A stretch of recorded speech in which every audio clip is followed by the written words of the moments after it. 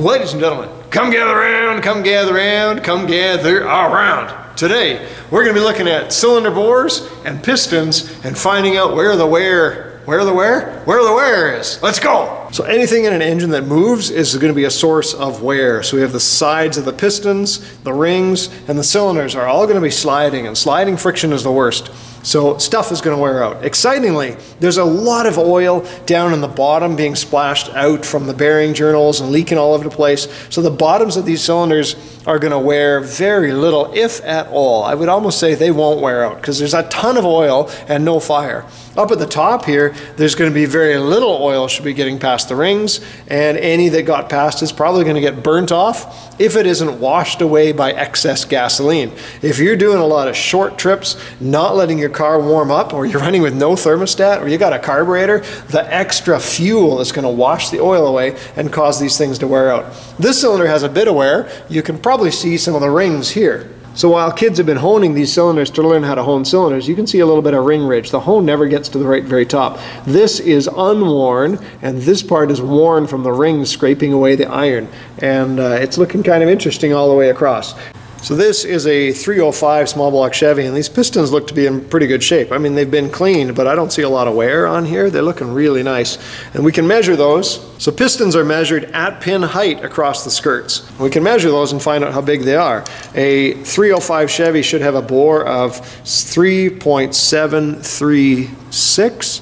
And if we put this here, I have 3.762. So this is actually bigger than it's supposed to be. It's actually 30 thousandths over. There's no markings on here to say it's been bored out, but it has been bored out.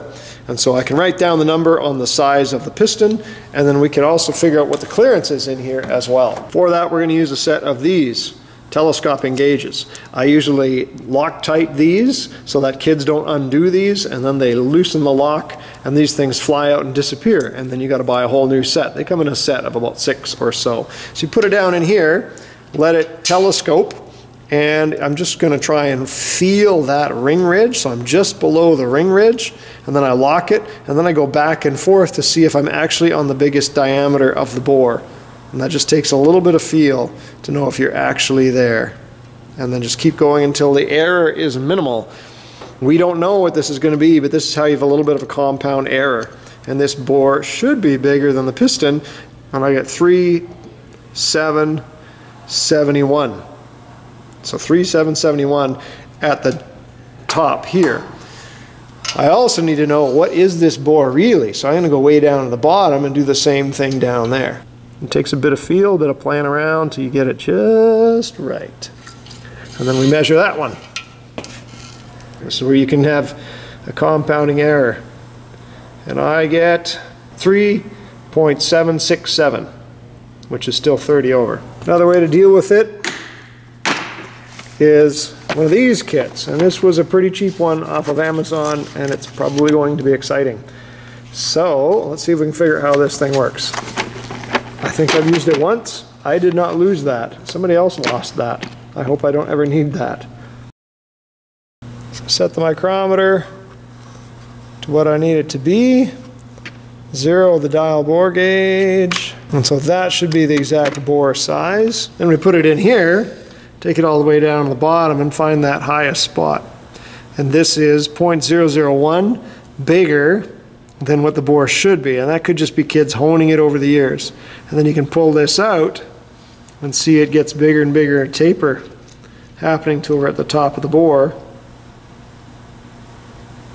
I'm just trying to make sure I'm there. So we're looking at about three or four thousandths. So I would rock that. I would hone it, carry on, man. That's not too terrible.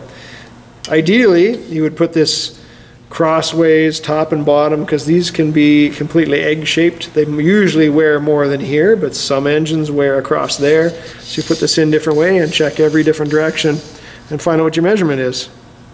Down here at the bottom, up here at the top. I can feel the edge. Yes, we're looking at three or four thousandths oversized up here.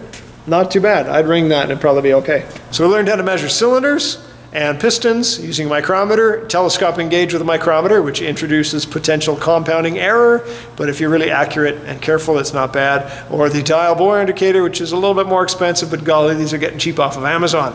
Um, other than that, it's pretty straightforward, pretty easy, and then you got numbers. How do you know if it's bad? If you don't measure it, we can measure it, right? As always, thanks for watching, and we'll see you again.